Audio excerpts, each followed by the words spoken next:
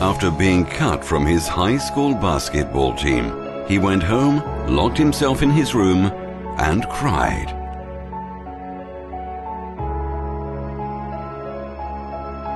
He wasn't able to speak until he was almost four years old, and his teachers said he would never amount to much.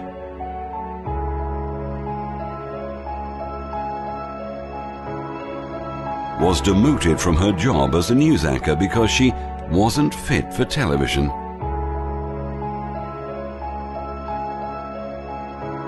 Fired from a newspaper for lacking imagination and having no original ideas.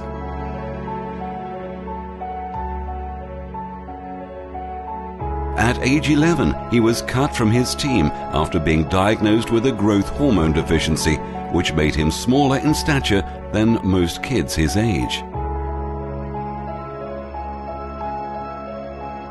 At 30 years old, he was left devastated and depressed after being unceremoniously removed from the company he started.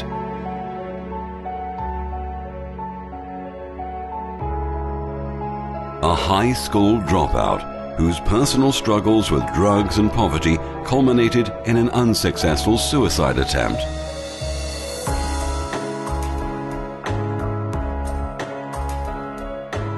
A teacher told him he was too stupid to learn anything and that he should go into a field where he might succeed by virtue of his pleasant personality.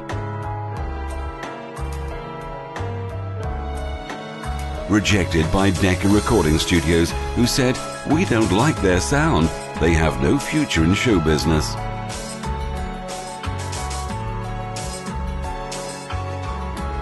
His first book was rejected by 27 publishers.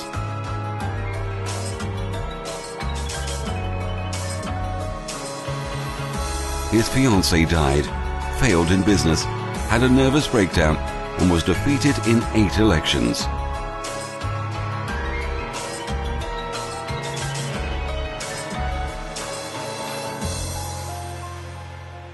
If you've never failed, you've never tried anything new.